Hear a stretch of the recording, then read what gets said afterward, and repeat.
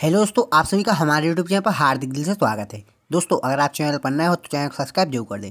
तो दोस्तों R K B E B tech B pharmacy third fifth और seventh semester वाले विद्यार्थियों के लिए बहुत ही इंपॉर्टेंट नोटिस है। अगर आप इस नोटिस को इग्नोर करते हैं तो आप परीक्षा से वंचित भी हो सकते हैं। चलिए दोस्तों वीडियो को करते हैं स्टार्ट और नोटिस बताते हैं। तो रुको जरा सबर करो। तो दोस्तों जैसा कि आप सभी लोगों को पता है कि आर रिज़ल्ट दो हज़ार बाईस आने के बाद लगभग प्रत्येक कॉलेज ने अपने अपने ग्रुप में ऑफिशियल ग्रुप जो व्हाट्सएप ग्रुप रहता है, उसमें नोटिस सेंड किया हुआ था कि थर्ड फिफ्थ और सेवन्थ सेमेस्टर के रजिस्ट्रेशन स्टार्ट हो चुके हैं। और उसमें लास्ट डेट भी लिखी हुई थी, सोलह किसी कॉलेज की सोलह थी, किसी कॉलेज की बीस सेप्टेम्बर थी। लेकिन दोस्तों, आज अक्टूबर का पाँच तारीख हो गया है।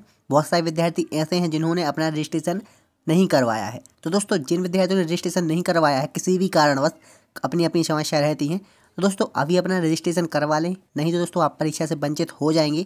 मतलब कि आपका एग्जामिनेशन फॉर्म फॉरवर्ड ही नहीं होगा तो आप फिल भी नहीं कर पाओगे। तो दोस्तों, जितने भी आपकी कॉलेज वगैरह की फ़ीस है रजिस्ट्रेशन फ़ीस उसको आप फिल करके जल्द से जल्द अपना फॉर्म कॉलेज में जमा करें। दोस्तों, यहाँ पर आपको नोटिस दिख रहा होगा संस्था के समस्त तृतीय, पंचम एवं सप्तम सेमेस्टर के उन छात्र छात्रों को सूचित किया जाता है जिन्होंने आज दिनांक तक प्रवेश फॉर्म जमा नहीं किए हैं। वे दिनांक इक्कीस दस दो हज़ार बाईस तक अपने प्रवेश फॉर्म विलंब शुल्क रुपये दो सौ सहित नोडल सेंटर में जमा करें। दोस्तों, यह न्यूज़ उन विद्यार्थियों के लिए इम्पोर्टेंट नहीं हो सकती जिन्होंने अपना फॉर्म फिल कर दिया है।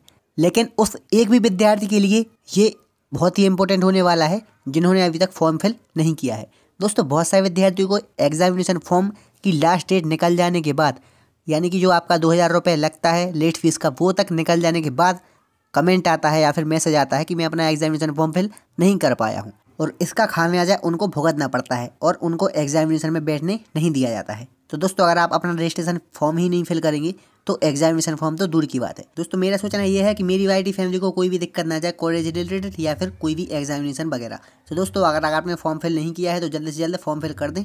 दोस्तों आई होप वीडियो इन्फॉर्मेटिव रहा होगा। तो अगर आप चैनल पर नए हो तो चैनल कर दे, सब्सक्राइब, वीडियो कर दे, लाइक। Thanks for watching.